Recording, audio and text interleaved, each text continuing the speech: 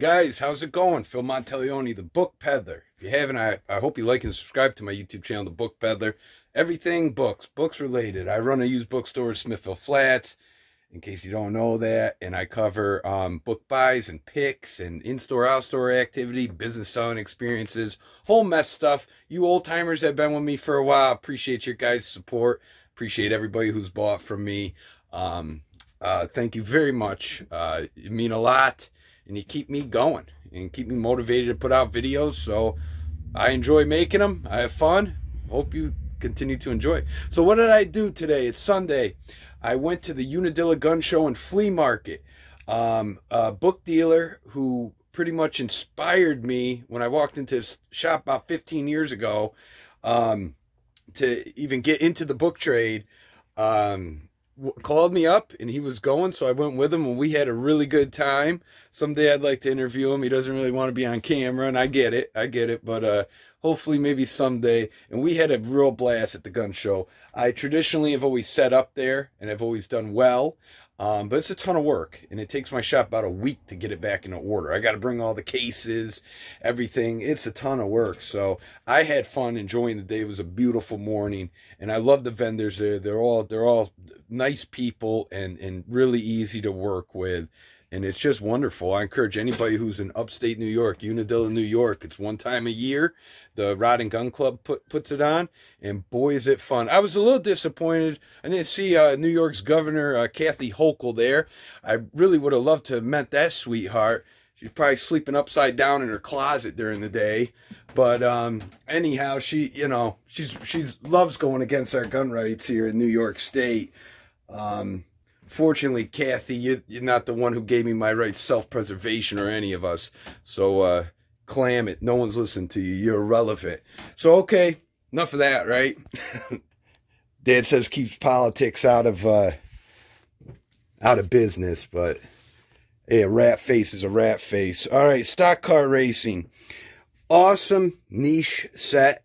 Um, was really happy with this buy. This is internet all the way. Buy niche stuff, guys.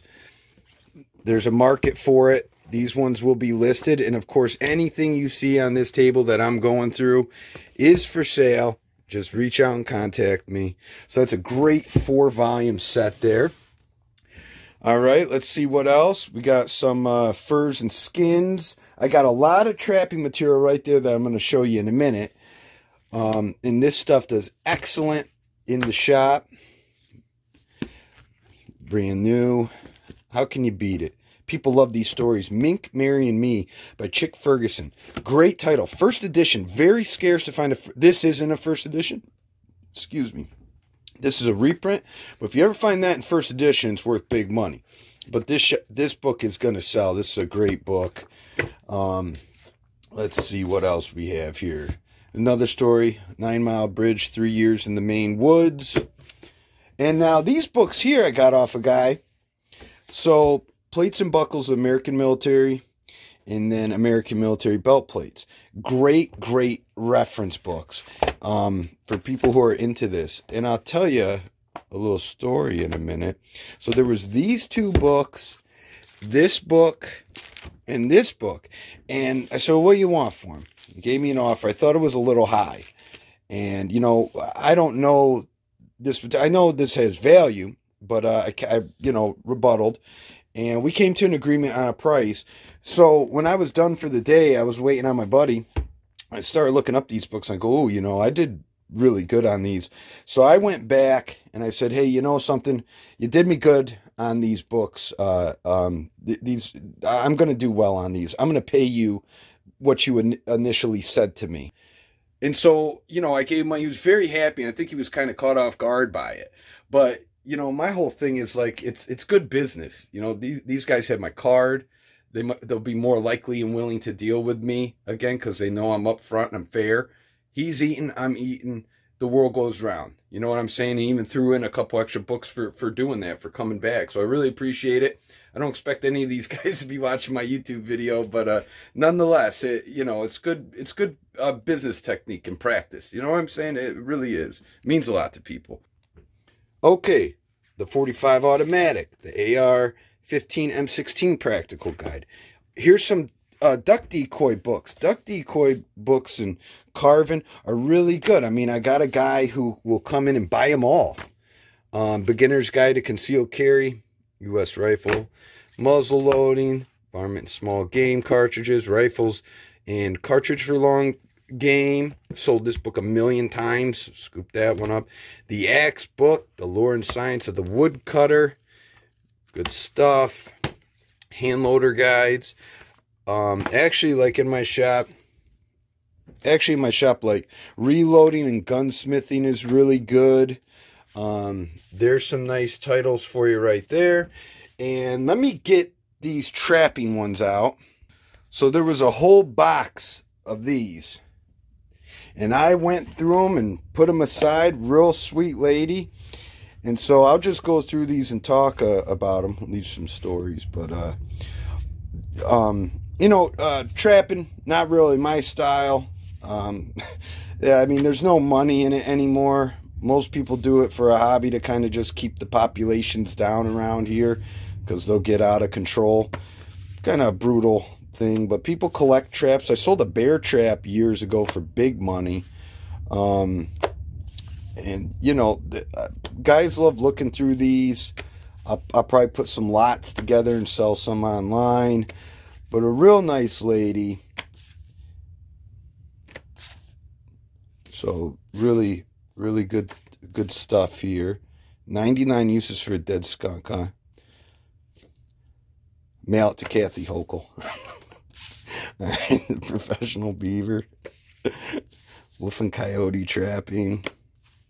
Fox trapping. Tons of fox, brush wolf, winter fox trapping methods. I'm going to keep going through these guys. I don't know how many of you out there are into trapping, but... And we're to the bottom.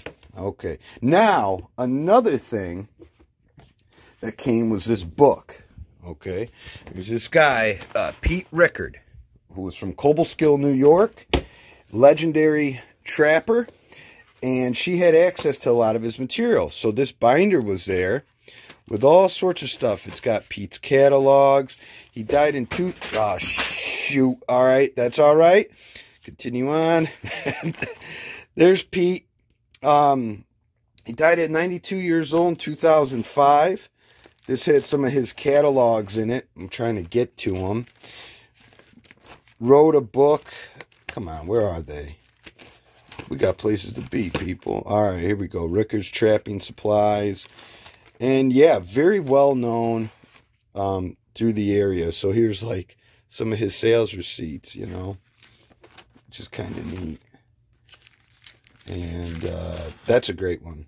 It's great imagery right there. Beautiful. So um, basically what I said was, hey, you know, how much for the whole lot? And um, we came to an agreement. And I guess they have more books. And hopefully they give me a call, you know. And uh, we'll, we'll make it happen. So yeah, really, really cool. This is great for the local area. You know, Cobleskill is about an hour and a half away, but.